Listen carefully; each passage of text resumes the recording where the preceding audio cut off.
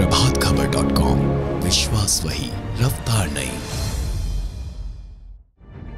CM Yogi Adityanath ने दुर्गा अष्टमी पर बुधवार को गोरखपुर को कॉलेज का तोहफा दिया। सीएम ने जंगल कोडिया स्थित महंत अवैध नाथ राजकीय महाविद्यालय का लोकार्पण किया। इसके अलावा सीएम योगी आदित्यनाथ ने कॉलेज परिसर में स्थापित महंत अवैधनाथ की कांस्य प्रतिमा का अनावरण भी किया। इस मौके पर प्रदेश के उप मुख्यमंत्री डॉक्टर दिनेश शर्मा के अलावा सांसद, विधायक, डीएम और एसएसपी समेत अन्य मौजूद रहे।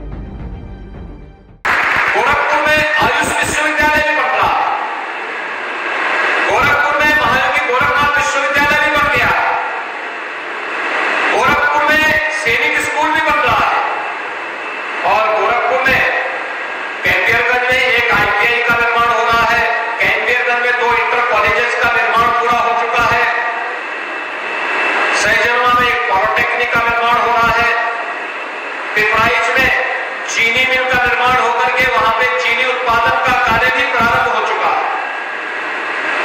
यानी जो विकास अब तक बंद था, उस विकास का रास्ता खोला है भारतीय जनता पार्टी की सरकार ने। प्रभात खबर डॉट कॉम, विश्वास वही, रफ्तार नहीं